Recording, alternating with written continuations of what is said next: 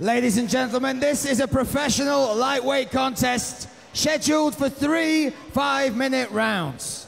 Introducing first in the blue corner, he has a record of one win, no losses. Representing Four Corners Gym, Danny Tyler! His opponent across the cage in the red corner, making his professional debut, with representing the MMA Academy, Liverpool, Connor Hughes. Your referee in charge, Mr. Simon Stadnicki. Well, ladies and gentlemen, this pro lightweight contest. Looking forward to Connor Hughes fighting out of the MMA Academy Liverpool in the black shorts in the red corner as he takes on Four Corners MMA's Danny Tyler wearing the black and yellow Venom. 1 0 for Tyler. Hughes making his pro debut.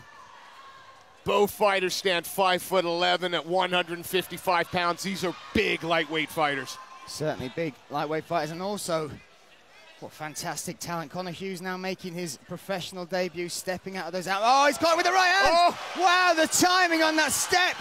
Away right hand, phenomenal stuff. But he's brought up. Hey, got to, got to stay composed. This Connor Hughes. Yeah, he's going up against Danny Tyler, and you got.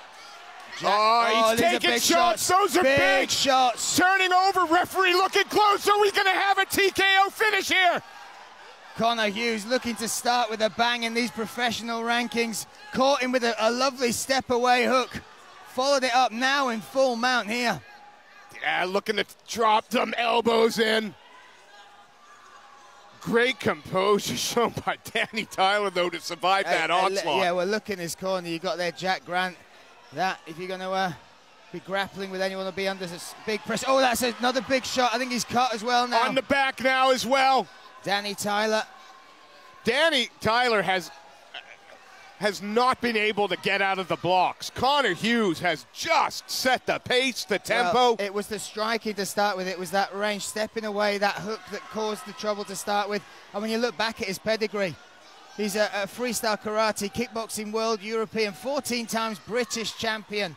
And then you put on top of that his uncle and his mum, both WAKO pros. Yeah, he's going to like the strand. And, and here's the frightening thing. Look how he's transitioning with the grappling. Yeah.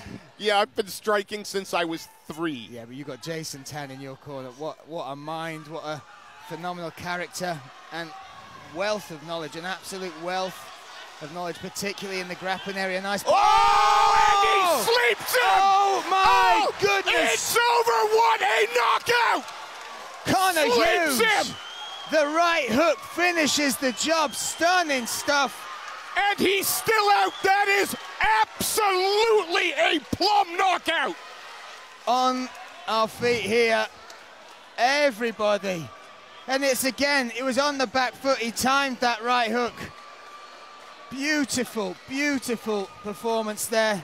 I love the show of respect now, the waiting. That's lovely. Not Hey, listen, he comes he comes from a martial arts heritage. It's all about respect. Every contact I've had with him has been a pleasure. He really is somebody that embodies the spirit of martial arts, and this is part of it: respect, humbleness. abs- I, I love to see that. I absolutely love to see that in a sport where this happens to people. Yeah, there's the excitement of climbing up onto the cage, but this this is sportsmanship. And he's getting medical attention here, looked after by our medics here at UK Fighting Championship. Oh, he he he, he was he, he was dropped heavy.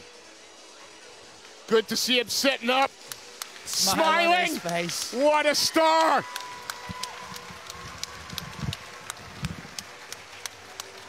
Wow, welcome to the pro ranks, Connor Hughes, 1 0. And I can't imagine there are going to be many lightweights early in their pro careers that want to step into that cage. Ladies and gentlemen, your referee calls a stop to the action at two minutes and four seconds of the very first round. Your winner by way of knockout, Connor Hughes!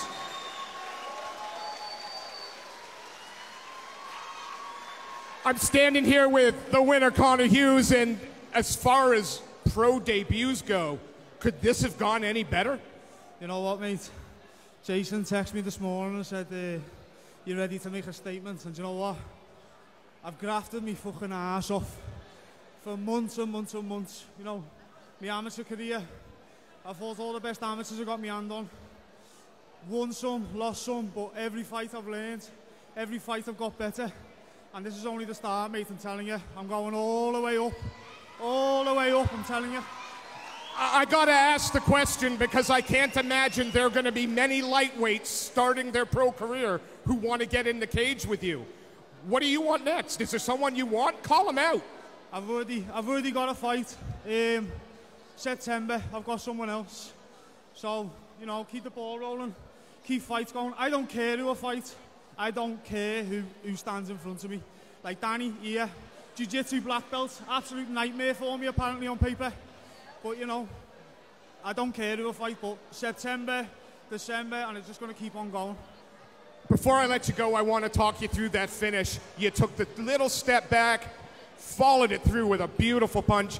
Second time you'd caught him with that, did you know what was coming?